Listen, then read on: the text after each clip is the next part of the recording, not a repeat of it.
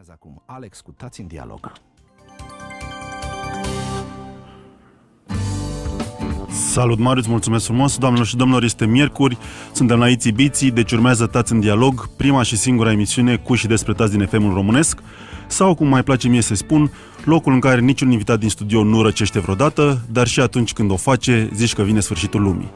Eu sunt Alex, cel mai bun tată al lui Marc și astăzi voi avea ca invitat pe Marius Florea Vizante, cel mai bun tată al Catiei și în restul timpului actor la un teatru de nișă, mai degrabă experimental, teatrul de comedie din București.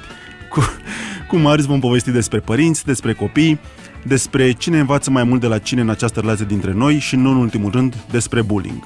Vă așteptăm cu mesaje sau întrebări prin WhatsApp la 0725 300 700 Gata, relaxați-vă, mai ales dacă sunteți acum prin traficul bucureștean. Ascultăm un bap de la Hanson și revenim imediat la dialogul nostru. Asculți Tați în dialog cu Alex Zanfir. 12 și 6 minute la Itibiții.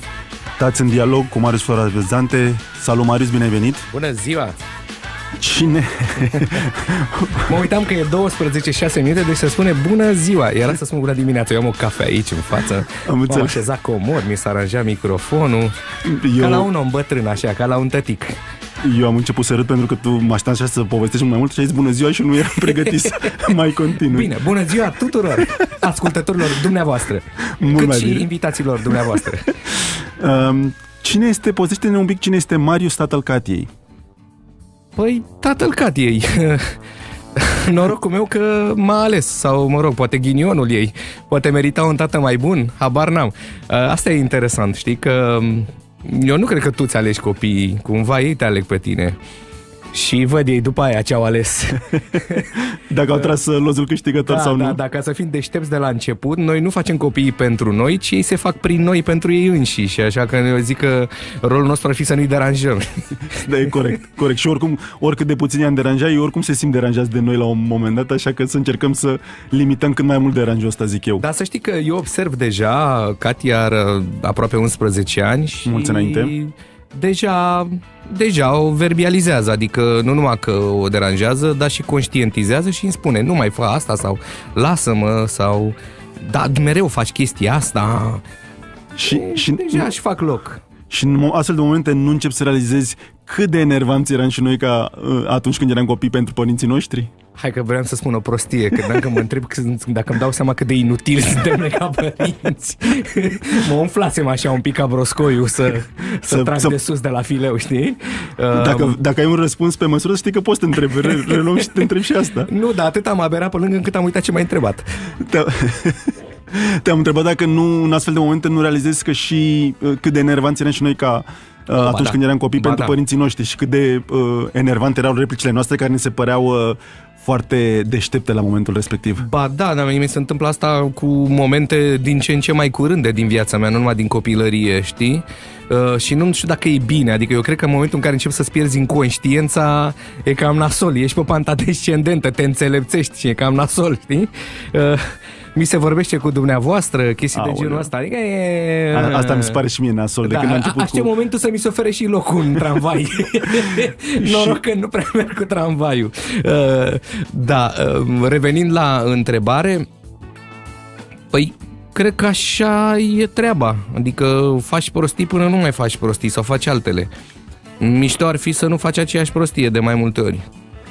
Apropo de asta, stăteam de vorba în trecut și mi-ai spus o chestie care mi-a plăcut foarte tare și anume că unul din lucrurile uh, care îți place cel mai mult la a fi tată este că educându-ți copilul, te educi și pe tine. Și aș vrea să te întreb dacă ți se pare că și noi, adulții sau noi părinții, învățăm lucruri de la copiii noștri.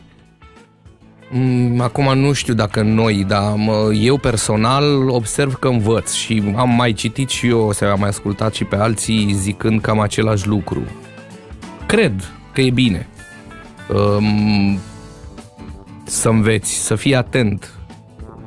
Pentru că dacă o luăm în serios, um, datoria noastră ca părinți este să nu învățăm pe copil să facă ce am face noi, ci să-l pregătim pe el pentru ceea ce nici noi nu știm ce va să vie. Să-l pregătim să fie elastic, să fie atent, să fie um, capabil să rezolve uh, situații noi, să nu se sperie de ele, să nu știu, să găsească soluțiile cele mai uh, valide pentru el. E, Asta e o chestie destul de grea, e o chestie de pedagogie. Cum îl pregătești tu pe un om pentru ceva ce nici nu știi ce urmează? Uh, și atunci ce să faci și tu un exercițiu de previziune. Și făcând exercițiul ăsta de previziune, înveți odată cu copilul. Mă, cam ce s-ar putea întâmpla, cam care sunt uh, pașii următori, cam ce s-ar întâmpla în următoarele 5-10 minute, 5-10 ani, 5, 10, 500 de ani. Să fim e mai cu atât mai sănătoși. interesant să te gândești așa, știi, cam ce ar fi peste 500 de ani și ce aș putea să fac eu acum pentru 500 de ani. Uh, hai să povestesc eu un lucru care îl învăț de la copii, nu neapărat de la Marc și care mi se pare minunat. Felul în care ei se ceartă și se împacă. Mă uit în fiecare zi la ei în parc și au momente când se ceartă atât de rău, ajung chiar să se împingă, îmi zici că nu o să-și mai vorbesc niciodată. Îți spun cuvinte, nu mai ești prietenul meu pe viață, nu mai vreau să te văd, își spun ce au de spus și a doua zi când îi vezi sunt cei mai buni prieteni, dar nu e că e o chestie forțată. Se văd unul pe altul, se îmbrățișează și Asta e o chestie pe care noi adulții noi facem. Noi dacă ne cer, mă cert eu cu tine acum, păi nu numai că mă cert eu cu tine, dar mă S-ar aștept putea ca să toți scrii ceva și prietenii... pe Face, știi? Exact. Despre tine, las că știu eu. Plus că mă aștept ca toți prietenii noștri comuni să-mi țină mie partea, că până la urmă mie mi se pare că eu am dreptate și cei Da, care da, nu țin acum parte... ascultătorii care mă aud pe mine mai des s-ar putea să țină cu mine, că pe tine te-au auzit de mai multe ori sau că am săturat. Așa E, este. Și o părere nouă întotdeauna s-ar putea să influențeze mai tare. Uh, Ca să răspund serios, um, aici nici măcar nu învățăm ceva, după părerea mea ne reamintim ceva. Ceva Corect. ce noi uităm odată cu tocirea asta. Când cu... uităm? Asta mi se pare... Ai, ai, Ah, ai un păi- moment așa pe care poți să-l stabilești când devenim, uităm să fim copii și ne luăm Uite, așa... ca în- să zic o prostie, să fie mișto așa, să prindem tot tipul de public. uh, uh, Dacă credeți în zodii, e o cutumă cum că începând cu 40 de ani uh, și intră în uh, vigoare ascendentul pe care îl ai. E, la mine, așa, după calculele mele super empirice și oricum nu prea mă interesează cu adevărat, uh, eu sunt leu cu ascendent în uh, balanță. Uh, ceea ce pe părerea mea e o combinație cam maladiva, așa, dar nu contează. E, după 40 de ani, acum am 45, am Mulți înainte. simțit că s-a cam instalat balanța. Era mult mai uh, ingenu, ca să folosesc un termen extrem de blând și politically corect cu mine însumi. Uh, extrem de naiv și o luam în freză cu seninătate, spuneam prostii pe care le regretam cu aceeași seninătate ulterior. E, acum mă gândesc de mai multe ori, mai bine nu le zic, regret că nu le-am zis, regret că nu le-am zis și după urmă nu mi-am cerut scuze pentru ele. Uh, nu știu. Eu așa, undeva după 40 am început să constat. După 40 am, au început să-mi vină amintirile alea de care îți spuneam că ce prostii spuneam sau ce prostii făceam sau cât de naiv eram eu că, virgulă, credeam, nu știu ce. Uh, da, e de la om la om. Unii o duc așa până spre final și eu mă bucur pentru ei. Având în vedere că tocmai ai pomenit 40 de ani pe care eu îi împlinesc în 3 luni, nu o Băi, să insist pe nimeni nu-i acest... perfect. Deci nu, te rog, nu te necăji. Uh, O să încerc, o să încerc. Um, La toți ni greu. da unora mai mult. Um, ascultăm o melodie și când ne întoarcem vreau să discutăm o chestie foarte importantă pentru mine și cred și pentru tine și anume vorbim puțin despre bullying, ok? Vorbim, dar nu facem. 12 și 17 minute, tați în dialog cu Marius Florea Vizante. Marius, ai scris recent un articol care mi-a plăcut foarte tare, se numește N-ai tu puterea să mă ierți. Îl puteți citi și vă recomand să-l citiți pe vizante-actorul.ro despre bullying. Despre... Da, sau Despre... vizante.ro, dacă vreți, îl găsiți. Am aflat și eu că e bine să ai un site și m-am apucat să-l fac, așa cum am priceput eu. Nu mă înjurați, este în lucru, da? Da, acolo găsiți o bulă cu scrieri și toate prostiile pe care le-am pus pe o hârtie le-am lăsat acolo. Foarte bine, eu uh, recomand că prostile tale sunt foarte interesante, recomand uh, uh, ascultătorilor noștri să le citească. Povestește-mi un pic despre uh, articolul ăsta, de ce l-ai scris? Dacă mă întreb inițial, uh, mi-a plăcut anecdotica, replica respectivă în sine. N-ai tu puterea să mă ierți. Uh, Evident, o adresez unuia care mă agresează. Um, și de la anecdota asta am zis, băi, nu pot să scriu un banc. Uh, Bancul spun eu așa, la petreceri. Dacă vreau să scriu ceva, trebuie să te pună nițel pe gânduri. Și atunci mi-am uh, adunat uh, mici uh, secvențe în care am fost uh, um, deranjat de-a lungul micii mele istorii și le-am pus așa într-o succesiune legată de, de locul unde s-a întâmplat în jurul facultății de teatru, Academiei de Teatru și Film mai nou. Um, sunt lucruri pe care, de, peste care am trecut, dar am constatat scriindu-le și aducându-mi le aminte că n-am trecut întotdeauna cu grație, adică după o milință de asta uh, așa, îți rămân memoriile foarte, uh, memoria îți rămâne foarte vie și asta înseamnă că nu te-ai vindecat cu totul. Uh, că poți să vorbești e primul pas, zic psihologii, recunoști că ai o problemă. Um, Mm, poate că am făcut-o și într-un mic scop terapeutic pentru mine însumi, dar recunosc că am plecat de la o chestie teribilistă. Mi-a plăcut anecdotica replicii, însă ea acoperă foarte bine povestioara asta mea în care uh, suntem câte unii mai cu o apariție mai de frăierice așa sau de tocilari sau de habar n-am ce, care ne luăm în freză de mici. Uh, unele sunt inofensive, altele deranjează, știi? Acum depinde și cât de tare te deranjează, cât de tare te urmăresc, pentru că uh, eu constat și nevastă mea îmi spune destul de des, uite, astea sunt uh, reacțiile tale în urma uh, problemelor pe care nu ți le-ai rezolvat în copilărie. N-are nimeni nimic cu tine, stai liniștit, ești bine. de, ce, de, de ce reacționezi așa de, de, de hotărât? Nu e cazul. E, ăsta e un subiect foarte important, aș vrea să trecem așa ușor peste el. Luăm câteva minute de publicitate și când ne întoarcem aș vrea să te întreb dacă ți-e frică de bullying când vine vorba de Katia. Ok? Ok. 12 și 24 de minute, Iți Biții, tați în dialog, stăm de vorbă cu Marius Florea Vizante despre bullying și asta mi se pare o întrebare bună și pentru voi, doamnelor și domnilor. Ce vă sperie apropo de bullying și de copiii voștri? Ne puteți scrie prin WhatsApp la 0725 300 700. Așteptăm răspunsurile voastre și până atunci îl întreb pe Marius. Marius, ce te sperie pe tine când vine de vorba de bullying și Katia? Mm, sincer, eu am aflat destul de târziu de termenul ăsta bullying. Uh, poate că ar fi bine să-l traducem, poate că nu toată lumea vorbește limba engleză. Hai să spunem așa uh, că e suma agresiunilor îndreptate către un copil sau chiar către Fizice, un adult. verbale, mai nou da. există și cyberbullying-ul. Da, da, da. da. Când uh, copilașul se simte agresat, hărțuit sau adult. Umilit. Umilit, da, pus în situații jenante și așa mai departe, le știm cu toții. Când ești luat la mișto, când uh, e o sumă de factori. Ar trebui să inventăm un cuvânt în limba română. Din păcate încă n-are și nimeni să-l aducă de asta cei mai mulți oameni folosesc da, bullying în continuare. Bullying. Sună rău și puțină lume îl știe. Eu l-am descoperit destul de târziu. Adică eu când scriam textul ăla nu știam de cuvântul bullying, recunosc. Eu sunt mai filo-român, așa. Dar despre bullying era textul. Um, mi-e teamă unor să mă gândesc. Știi că uh, în mod frecvent facem chestia asta. Dacă ne e teamă de ceva sau nu am vrea să se întâmple anumite lucruri sau nu așa, păi nu ne gândim la ele. Că dacă te-ai pus să te gândești, parcă le și chem cumva. Um, uh, sau, știi, băi, um, nu vreau să-mi fac analize, că sigur mă găsesc bolnav. da, um, mi-e teamă, sigur, mi-e teamă de multe lucruri pentru Katia, însă în aceeași măsură mă gândesc că răspunsul, primul răspuns care îmi vine este prin anumite lucruri într-o anumită doză trebuie să treci ca să te formezi, știi? Adică dacă nu te-a luat nimeni peste picior, nu te-a jignit nimeni niciodată, parcă n-a existat, nu știu cum să zic. Dacă nu ți-a pus nimeni nicio piedică, nu te-a tras nimeni de o codiță, uh, știi?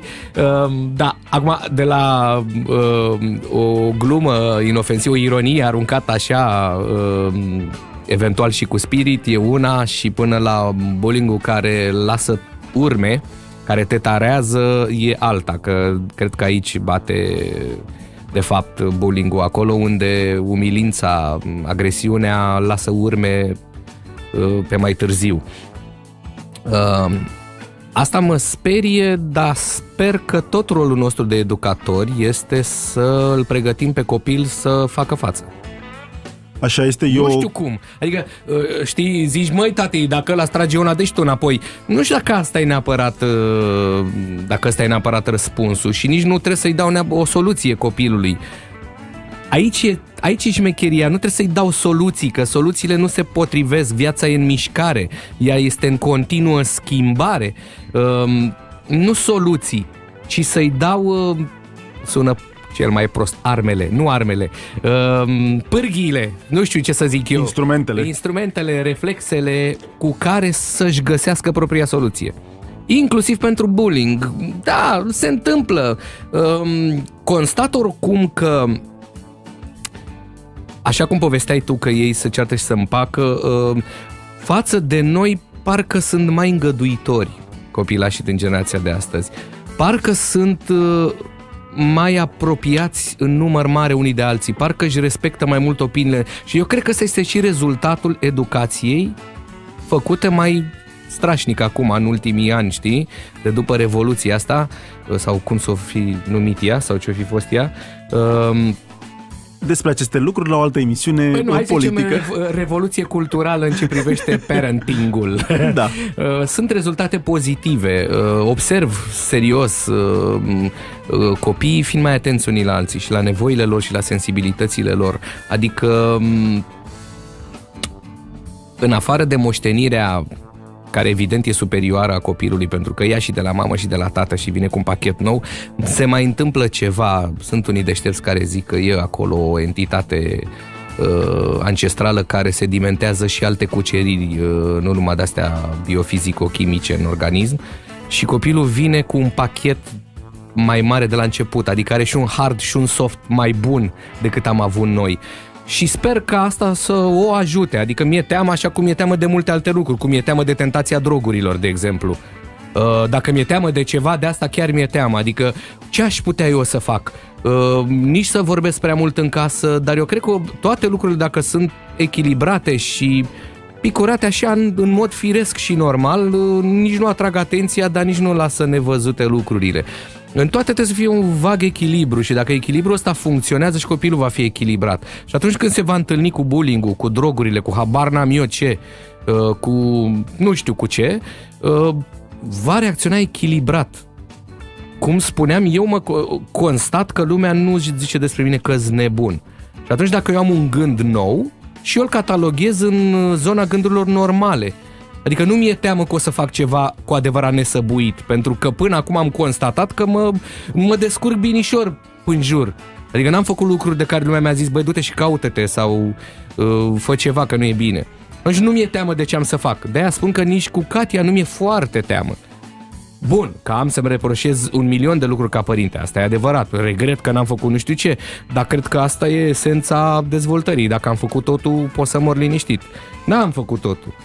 Eu, apropo de tot ce povesteai tu, inclusiv de droguri, mi se pare o chestie pe care o spun mereu, și anume că, scuze, uh, oricât de enervante sunt nurile lui Marc în anumite momente, încercăm și eu și Iulia, soția mea, de câte ori putem, să ținem cont de ele, pentru că în momentul în care îi omori toate nurile copilului tău, când va conta cu adevărat să spună nu, nu că nu vrea să mănânce sau nu că nu-i place cu ce l-a îmbrăcat sau că nu știu ce, când va conta cu adevărat să spună nu în fața drogurilor, în fața unui bullying și cineva îi va spune nu mă interesează nu tău, dacă el nu are acest exercițiu de acasă în care să conteze nu lui, s-ar putea și atunci să lase capul în pământ și să facă ce zice ăla mai Dar fii puternic. Atent, că eu acum vreau să fiu gigă contra. Se întâmplă și a exagera. Acum nu, nu e... Da, da, discutăm. Discutăm generic. În momentul în care tu exagerezi cu exercițiile de genul ăsta în care tu nu-i spui copilului niciodată nu sau îi accepti orice nu copilului, el în momentul în care va intra în viața reală va fi șocat că nu lui nu-l aude nimeni uh, că nu lui nu e luat în seamă de ceilalți. Adică, bun, e bine să aibă exercițiul de a spune nu și de a constata că nu lui este luat în seamă, dar eu zic că trebuie învățat să spună nu pe diverse tonuri uh, ca uneori să se facă auzit în condiții grele. Um, dar asta e tot așa un reglaj pe care cumva copilul face natural. Eu zic că eleganța și um, marea calitate a unui pedagog, a unui educator, a unui formator e tocmai asta. Să găsească căile în care copilul să-și uh, exercite echilibru pe care îl are cum când s-a născut. De acord. Adică copilul să fie armonic în orice situație. Și atunci cu cât noi băgăm scheme în cap și vorbim și apăsăm repetat despre anumite lucruri, noi de fapt îl, îl handicapăm, îi, băg, îi vârâm în sistemul lui niște bețe, așa ca și cum ai băga bețele în spițe, știi? Îl încurci un pic. E bine să-l lași în echilibru, adică când e de nu e nu, dar când nu lui nu e bun, trebuie să-i spui că nu e bun. Sunt total de- în dezacord cu părinții care lasă copiii să se dea cu capul de pragul de sus. Stai mă puțin că dacă copilul vrea să arunce în puț, îl lași? Adică bun, să se împiedice să cadă cu, cu nasul în țărână e una. Că dacă el vrea să se arunce de pe balcon, că a văzut că Tom și Jerry se dezlipesc de pe asfalt și fug mai departe și vrea să încerce și el, tu îl lași? Adică există o limită în toate, este un echilibru în toate, iartă-mă, dar folosesc așa niște exp- Foarte bine, exemple foarte prozaice, că noi actorii așa suntem, știi, gândim mai mult în imagini, în uh, înțelesurile sunt mai înalte și ne transcend. Uh, wow! Nu, tău Bă, vin să mă cu mai niște chem ex- că vorbesc da, bine, Nu, lasă-mă. dar nu cred că te mai chem, că mă faci pe mine să arăt prost, adică na. Deci nu vorbesc de cu chestii simple, plus că nu apuc să zic foarte multe, deci na, mă pui într-o inferioritate evidentă. Ha, o, doamne! O, doamne! Hai că te scoți și la o bere după. Uh, fără Mulțumesc. alcool, că e prânz. Da. Um, hai să postez că e o chestie care um, mi-e frică să-mi spui dacă te recunoști în ea când vine vorba de bullying și de Marc. Mi-e frică pentru că de foarte multe ori, și cred că orice copil se regăsește în situația asta într-un moment sau altul, copilul, orice copil este când victimă, când agresor. Exact. Și atunci îl văd pe Marc că nu-i place când este victimă, dar în același timp îl văd că anum, când vede pe cineva mai slab ca el, indiferent că este mai slab fizic sau că, nu știu, Da, da. e Într-o ochelari sau anumită ceva, situație în inferioritate. Exact. Și începe să facă mișto de ăla, îi place sentimentul ăsta, știi? Și asta mă enervează teribil, că nu reușesc să uh, conectez punctul A cu punctul B, știi? Și mi se Vezi, pare e- foarte riscant chestia asta. Eu, să... e și nu e, eu, cum să zic, ne învârtim în jurul aceeași chestii, toate sunt în echilibru, adică nu există alb fără negru, nu există zi fără noapte, nu există bine fără rău și așa mai departe. Viață fără moarte, fii atent, mamă, asta e adâncă. Nu. Uh, Dragi colegi, da? deci când mai îmi propuneți să chem astfel, de, vă rog eu frumos, sunați-l, stați jumătate de oră de vorbă cu invitatul respectiv și dacă să, începe să, cu... să-și debiteze toate enormitățile Nu, dar vedeți, înainte dacă de pare emisie. foarte deștept, nu-l mai chemați. Nu e Așa. ok, adică na, totuși, sunt colegul vostru, vă rog Bă, frumos. așa e și cu chestia asta, adică dacă copilul nu suferă uh, uh, o miștocăreală, n-are cum să-și dea seama și când greșește. Adică m, cumva trebuie să te și doară ca să te ferești de durere. Dar știi că uh, diferența este între miștocărare și bullying, că unul din, una din definițiile bullyingului, stați că mi s-a oprit, ah, m-am liniștit, îmi căzuse ecranul cu tot softul nostru. Uh, Nu e, bă, mă, și el nu, și el s-a șocat nițel și a zis, stai să iau o pauză. stai, Știi, domne, când sunt că momente mai de astea, zice- stai un exact. ristant. Um, una din definițiile bullying este un comportament repetat. Deci una este să faci mișto odată Da. și alta este să faci mișto continuu de cineva sau să ții mișto, știi? Și da, atunci... da, când, când el devine o agresiune și care lasă și urmări, cred eu. Da, da. Um, păi ce să spun, uh, una e una, alta e alta, adică mm, tu, toți avem, uh, adică uh, noi există uh, uh, de toate. Noi am învățat, vedem că asta e o chestie foarte interesantă. Noi la actorie aveam scris așa mare pe perete o, o lemă, uh, că toate personajele sunt în noi. Toate personajele pe care o să le facem, cărora o să le dăm viață. Foarte sunt interesant. în noi. Adică noi nu imităm nimic, noi nu facem așa un copy-paste, știi, Uh, mă îmbrac ca ăla. Nu, găsesc un ca ăla în mine, al meu. Eu aș fi putut fi ăla.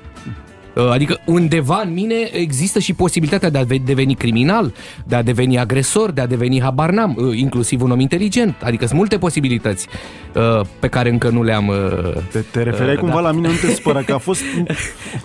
Deci toate personajele sunt în noi.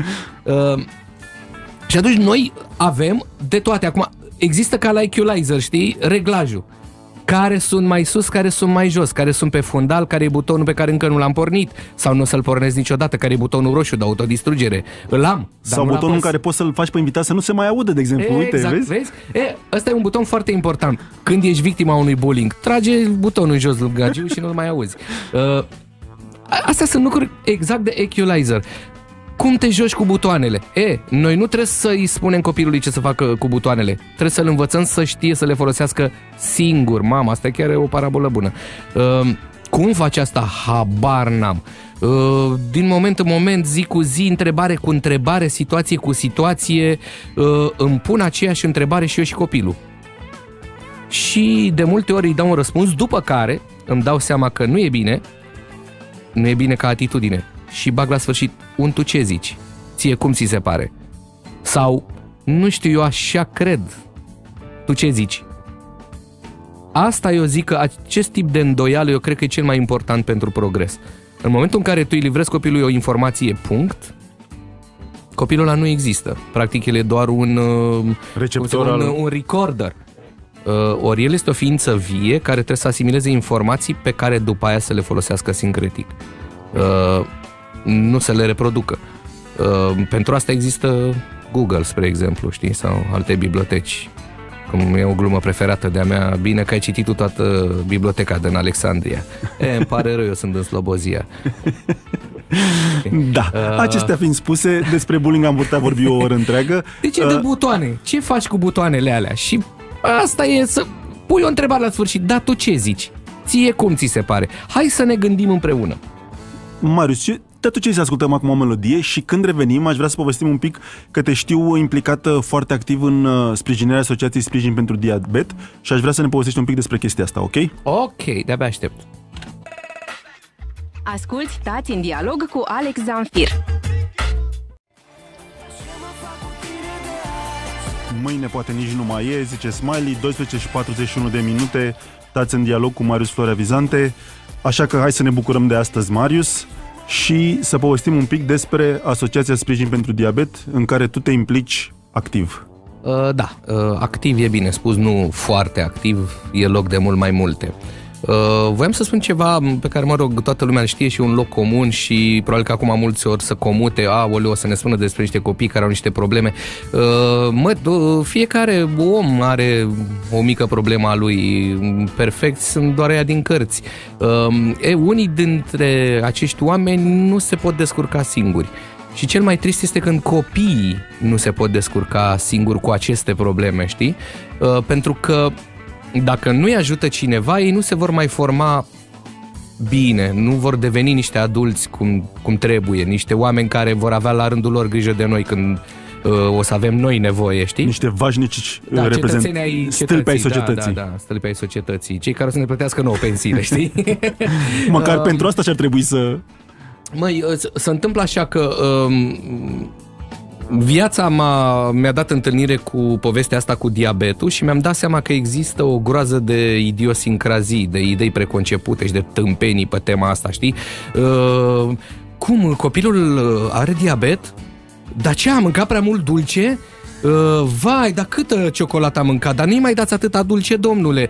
Nu, se cheamă diabet zaharat pentru că se referă la nivelul de zahăr din sânge. N-are nicio legătură cu mâncatul de dulce sau de nedulce. Sau, vai, copilul ăla nu mai are voie să mănânce dulce. Nu, are și voie să mănânce dulce. Nu e... e, e uh, din fericire, ca să zic așa, uh, această chestie numită diabet zaharat nici măcar nu e o boală, e doar o insuficiență.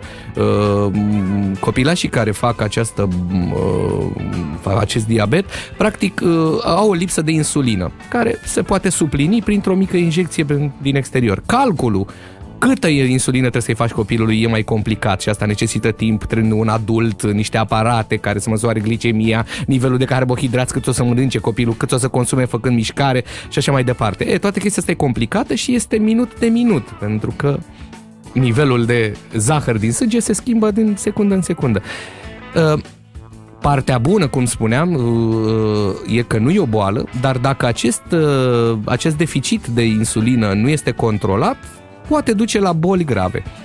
Uh, N-are rost să vă sperii. Ideea este că dacă noi ne implicăm și cu un ajutor nu foarte mare uh, reușim să ținem sub control insulina copiilor cu diabet, care nici nu sunt mulți în România, sunt în jur de 3000 diagnosticați oficial, uh, acești copii sunt perfect, dar perfect normali din punct de vedere al sănătății fizice și au și șansa să se dezvolte normal în societate, nu să se simtă că e o boală incurabilă pe care o cară, ei tot timpul au injecție lângă ei, niște pliculețe de zahăr, uită pe diabetica aia care a mâncat dulciuri când era mică, graso sau bolnăvicioasă, că ei săracii mai au și stări de slăbiciune, de amețeală, de tremurat, de frison și așa mai departe. Ei, se vor dezvolta absolut normal, vor avea șansa la o viață normală. Efortul e mic, aparatură este, am descoperit acum uh, niște aparate de ultimă generație care nici măcar nu există. Deocamdată Ministerul Sănătății nu știe că ele există, ele nu sunt omologate în România.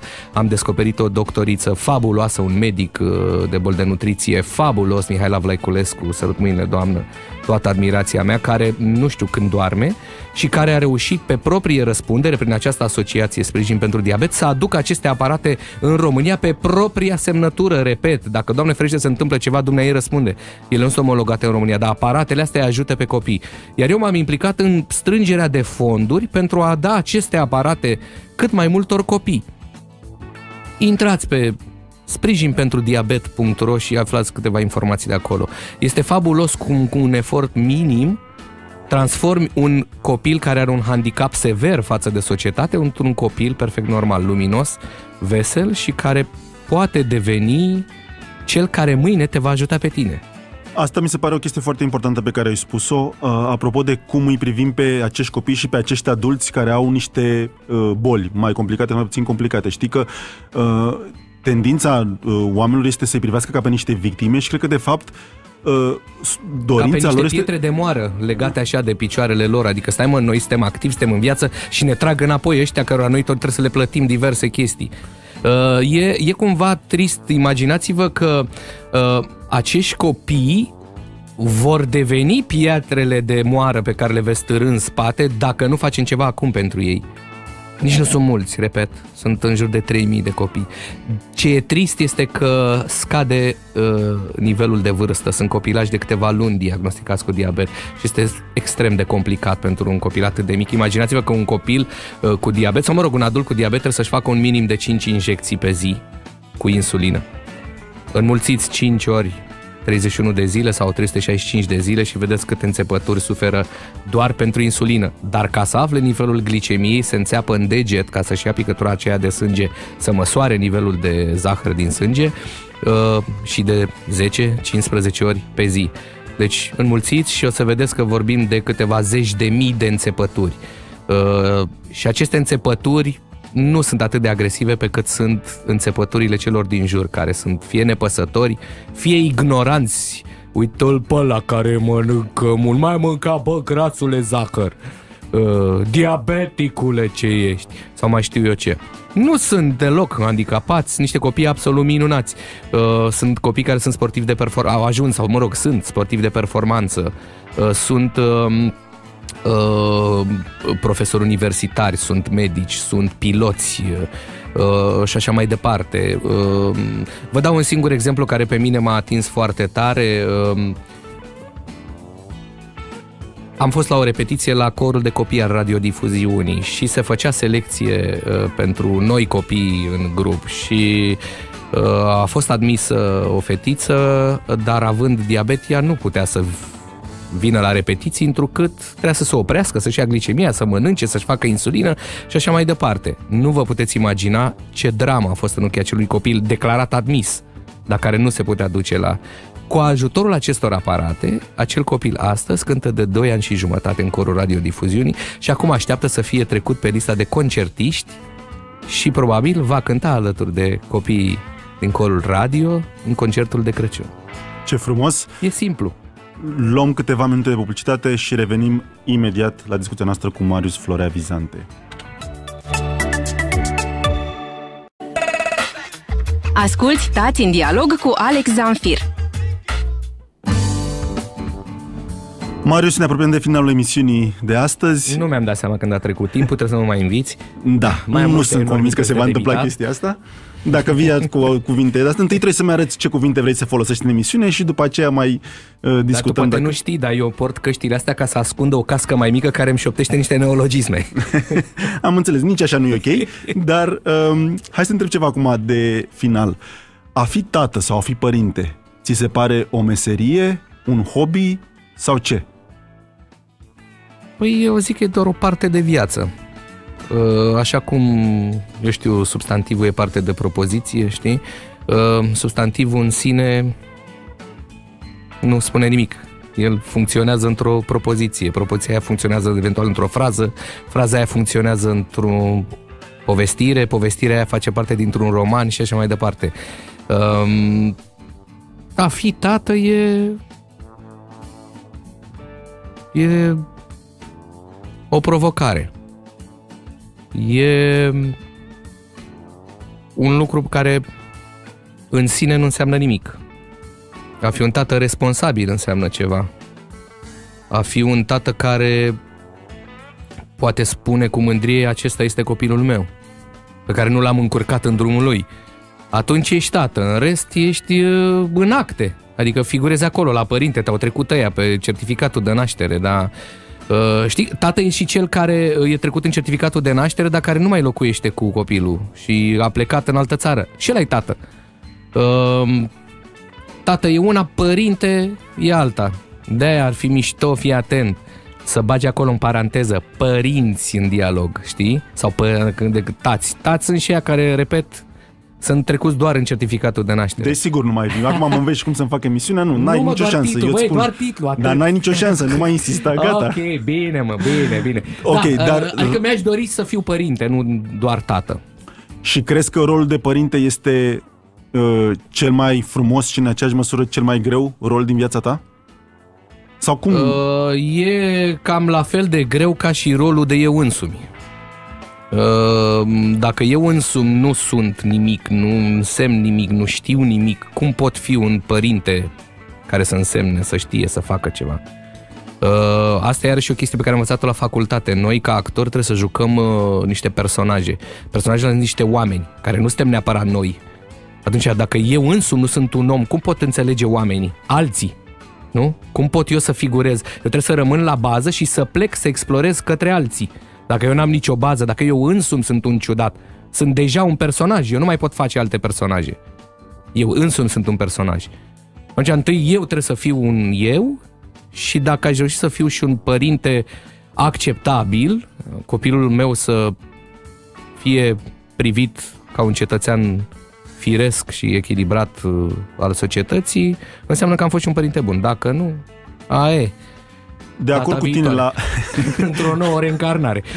Dată, uh, uh, îmi place chestia asta cu uh, important să fiu în primul rând eu însumi, dar mai este o chestie care mi se pare importantă când vine vorba de a fi părinte, aceea de a nu-l transforma pe copilul tău într-o variantă bunătățită a lui eu însumi. Asta Da, mi se pare o nimic, mare da, provocare. asta, am spus, asta era clară, adică eu nu pot să E, spun fă scuză-mă ca că mine. mai spun și eu niște chestii Da, peste... nu fă ca mine, fă ca tine.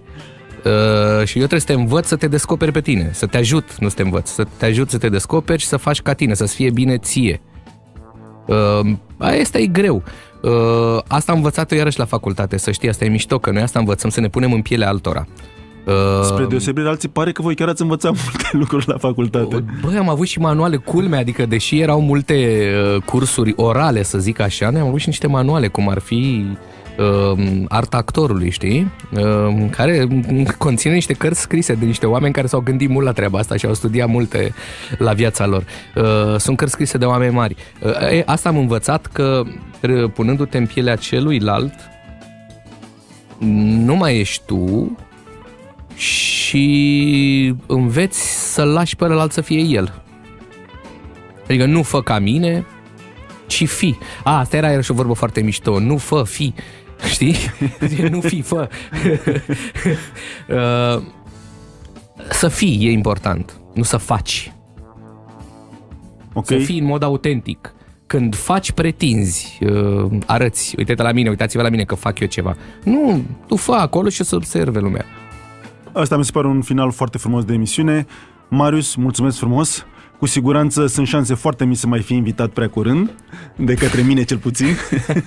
Deci dacă mai ai ceva de spus, te rog, Poți să spune iau și acum. pe asta ca o victorie? Yes! Uh, Băi, uh, ce vreau să vă spun? Uh, Nu uitați că sunteți la fel de importanți ca și copiii voștri. Dacă voi nu vă simțiți bine, nici copilul nu se va simți bine. Dacă voi nu sunt... Adică dacă voi vă sacrificați pentru copilul ăla, copilul ăla simte și se va simți vinovat uh, pentru asta. Și neologismul de final al acestei emisiuni este... Incomprehensibil. Super! Aceasta pare că a fost o emisiune ușor incroprehe- incomprehensibilă, aha, e, cel doi la puțin pentru prezentatorul ei. Doamnelor și domnilor, aceasta a fost emisiunea de astăzi, stați în dialog. Ne reauzim miercurea viitoare. Până în atunci, nu uitați să le spuneți copiilor voștri în fiecare zi cât de minunați sunt. Pa, pa!